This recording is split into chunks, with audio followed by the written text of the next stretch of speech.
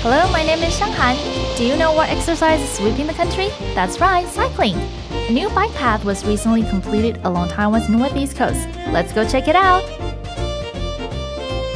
Taiwan is surrounded by the sea. The bike offers a relaxing way for visitors to enjoy the gentle breeze and savor the ocean views. The well designed route is not only safe, it's full of surprises. Our destination today is the old Caoling Tunnel, which was once a train tunnel linking Fulong and Shicheng.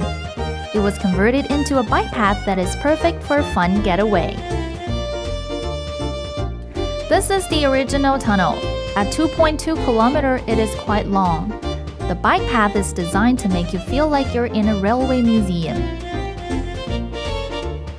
Train tracks are even built into the path. They were made with material from the original tracks to recreate a nostalgic atmosphere. It's nice and cool cycling inside the tunnel.